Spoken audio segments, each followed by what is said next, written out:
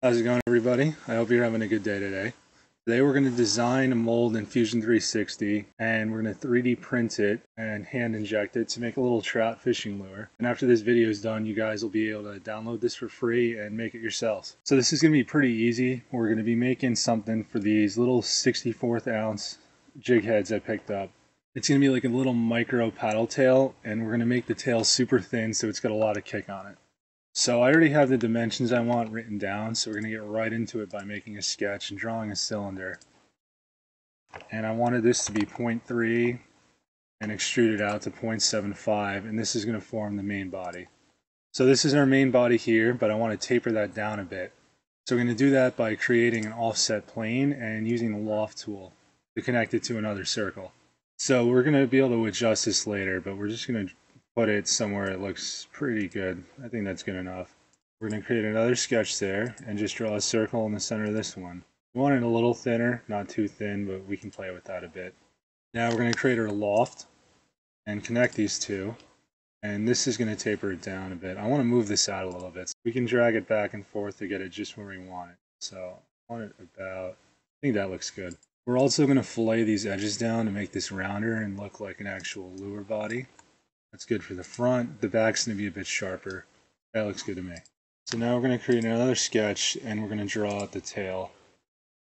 So I want this to be touching this part. So we're just going to go out here. The top's going to be pretty flat.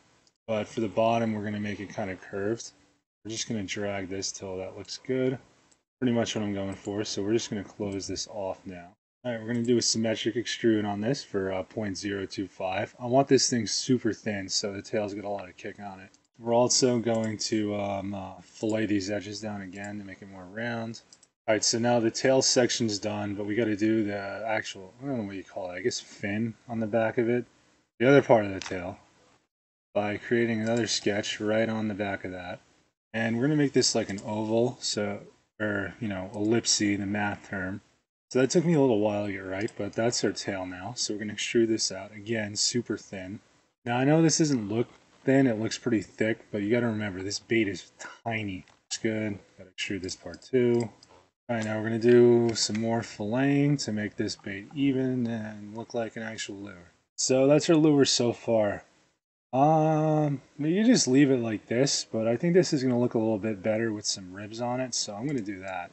So I added all these little ribs in. Hopefully that gives it a better look. I think it does. Let me hide that so you can see it better. Adding ribs is uh, boring and a pain in the butt, so I just skipped that part. It's really tedious.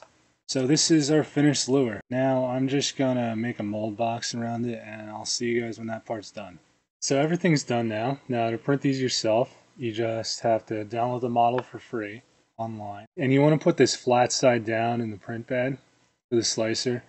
Now I'm going to use ABS to print this, but you guys can use PETG or PLA+. Plus. You just got to be a little more careful with the temperature so you don't melt anything. The only settings I changed is I added the uh, wall line count to 7 and the top count to 7 as well. And this is going to put a thicker piece of plastic on top of the mold so it's not as easy to melt. I'm printing this in a 0.12 layer height. If you want more or less detail, you guys can change that too. But now we're going to print and inject this.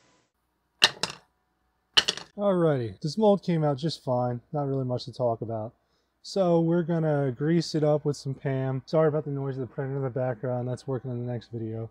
And we're gonna shoot this with a couple different colors. We're gonna start off with this dark pinkish thing from the last video and see how that works and move on to a couple other colors. So I'll see you guys when we're ready to inject. Right, we're right on the money for injection temperature. So we're to slowly draw this into our injector. We're going to make sure to burp it upside down and let all the air out. And then we're going to inject our mold.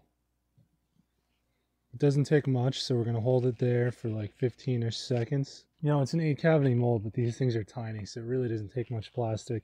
That should be good. Now we're going to fill up our sprue hole, and then that's it. So I will see you guys when this is done cooling off in like 10 minutes. Okay, so this should be more than cooled off enough now, so we're going to crack it open.